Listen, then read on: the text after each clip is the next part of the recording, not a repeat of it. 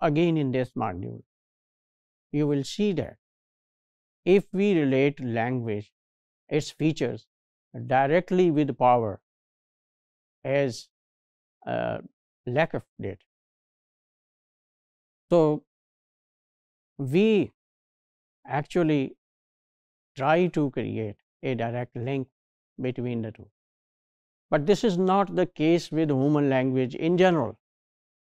The same expression, the same utterance, the same words can convey more than one meaning. They can perform more than one function.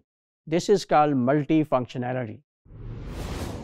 So, now in this module you will know about multifunctionality and then you will again see uh, the position of the things which were discussed by Lakoff. We are discussing her uh, views, in fact, not that her views are totally irrelevant. Actually, it was she who first pointed out that language is related with gender and gender is related with language. Actually, when time passes, things are reviewed, things are researched. So, uh, the old things are reanalyzed, uh, re-evaluated. So, that is the thing that we are doing with views. Again here we see that the same form performs multifunctionality. Then how can you relate directly one utterance with women or men? Women use more tags. Uh, this was one feature we have already talked about it. The reason that was discussed is that they use tags because they feel insecure. They are not uncertain, they, are, they feel that we are weak. But if we see men's language, they too, they too use tag questions very often. Holmes, a New Zealand sociolinguist, he says that tags can perform functions of, now instead of saying directly that uh, uh, women use them just for one function to show their powerlessness and that's it. No, no. Holmes points out that if we just take this feature of tag questions, so it can perform at least three different functions in different contexts it can perform the function of facilitating, softening and challenging.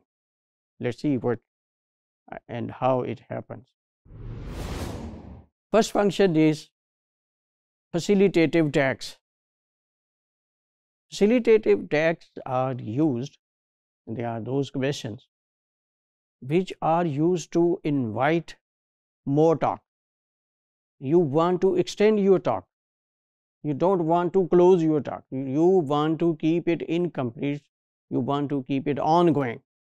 This is you facilitate the other person that he she should speak out. So this is facilitative text. For example, anchor person says in a falling tone, elections are loss of public money, isn't it? Isn't it? This is tag question. Now, when you pronounce it with falling tone, so it means you are inviting the other person to talk more about it. Mitigating tag is another function of tag. You, you, for example, you have remarked something very harshly. Now you want to mitigate, soften decrease that harshness. So you use tag question. For example, teacher says in a rising falling tone. First the tone rise, rises and then falls. This is called a rising falling tone.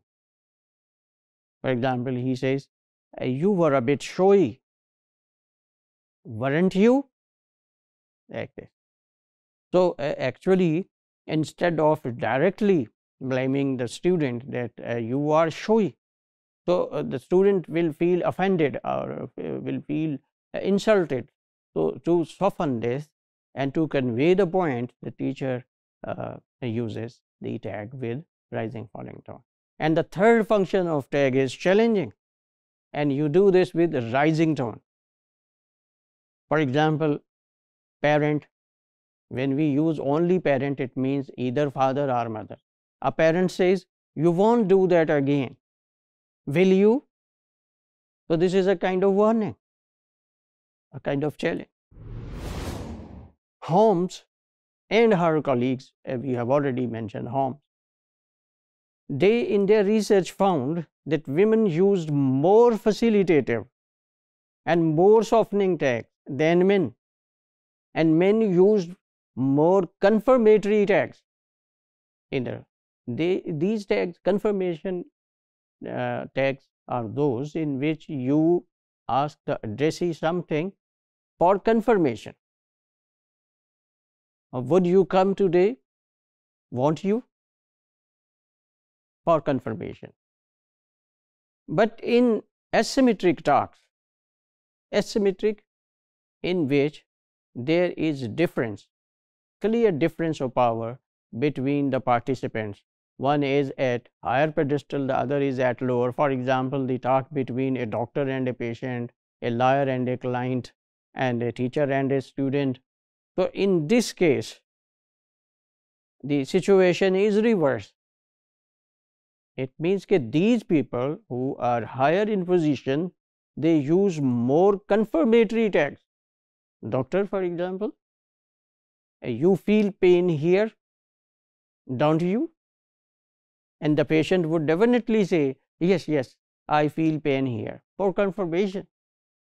So these people, they use less facilitative and challenging uh, text. So we conclude it is not clear uh, in the light of these three different dif uh, functions of the same expression we how can we say that there is a direct link between a tag and uh, a person's position as powerful or powerless. There is no certainty in presence of multifunctionality.